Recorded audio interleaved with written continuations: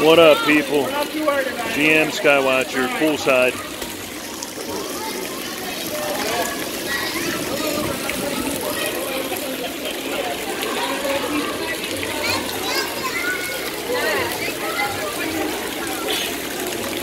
Just hanging out by the pool. Got a perfect view of synthetic clouds.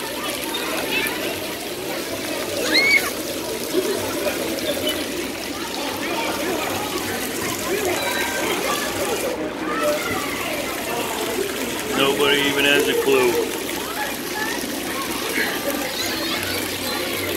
Zombies have been indoctrinated to accept their enslavement.